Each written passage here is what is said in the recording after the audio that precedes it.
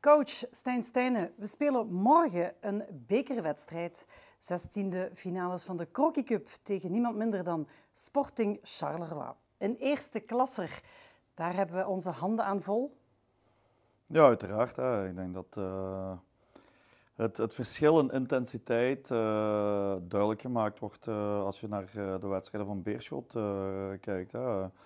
Waar Beerschot vorig jaar met, met quasi dezelfde ploeg door de reeks heen speelde, zie je nu een duidelijk probleem op vlak van intensiteit, handelingssnelheid. en dat ga, je, dat ga je gewoon ervaren. Hè. Dus ik hoor hier en daar uh, Charleroi een, een, haalbare kaart. Nee, uh, je kan winnen, je kan stunten. Dat hoort bij bekervoetbal, hoort bij voetbal. Maar Charleroi is wel uh, een gerenommeerde club hè, die, die al zoveel jaren in, op het hoogste niveau acteert. Die, die heel goed geleid wordt. Charleroi is ook een van de enigste clubs die, die elk jaar break-even draait. Die soms zelfs winstgevend is. Dus dat is een heel, heel stabiele eh, naam in, in, het, uh, in het Belgisch uh, profvoetbal. En daar moeten wij respect voor hebben. Hè? Dus uh, zomaar zeggen van, oh, dat kan wel omdat het niet een topclub is. Dan gaan we heel snel bedrogen uitkomen en dan zullen we, zullen we een heel zware avond hebben. Dus nee, wij zijn, wij zijn op ons hoede.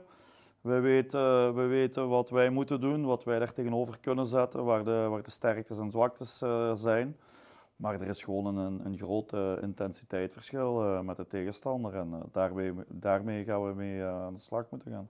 Ze hebben afgelopen weekend in de gewone competitie verloren in eigen huis tegen OHL. Is dat in ons voordeel, denk je? Nogmaals, voordeel of nadeel, laatste resultaat. hebben ze een reeks van 2 op 15 of, of winnen ze elke wedstrijd? Er is een verschil in intensiteit.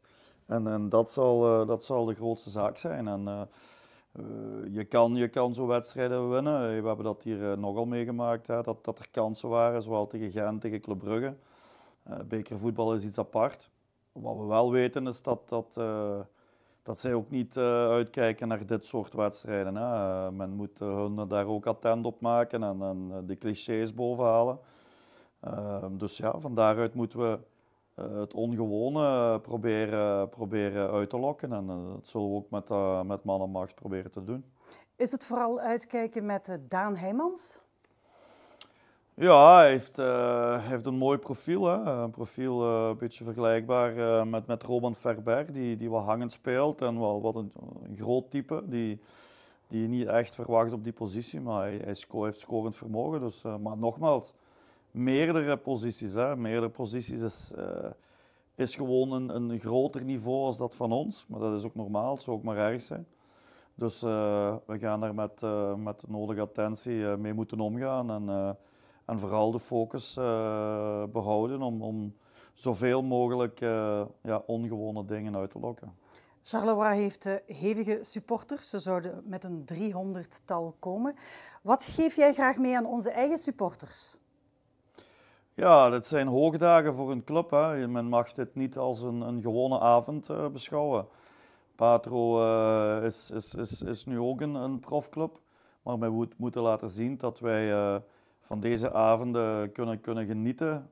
de supporters worden, worden verwend in de competitie met, met heel, veel, heel veel punten, heel veel mooi klassementen en heel veel doelkansen. Heel veel doelpunten. Maar dit soort wedstrijden, ja goed, heb je die, heb je die drive nodig langs het veld. Dat moet je voelen, dat moet bruisen.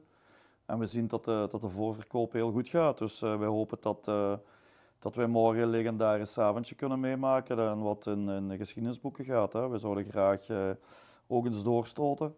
Maar nogmaals, wij moeten tegen een, een van de best geleide clubs van België spelen. En dat, is, dat is niet zomaar iets. We gaan ze niet alleen verwennen op het veld, inderdaad ook naast het veld. Om half zes gaat de VIP open, de Mobisol VIP Lounge voor ons dinner. Om 18 uur is er het pasta buffet, een nieuwe formule die we vanaf nu ook elke wedstrijd willen gaan toepassen. Om 18.30 uur gaan de loketten open, dus tickets kunnen nog altijd gekocht worden op Patro zelf. Ook onze Patro Cité wordt dan geopend in het thema van Halloween en DJ Samtoné. Na de wedstrijd is iedereen welkom op de afterparty in de club. en zijn ook jullie en de spelers allemaal daar aanwezig. Ik wens jou heel veel succes. Morgen wedstrijd tegen Charleroi om 20 uur. Veel succes. Dank u.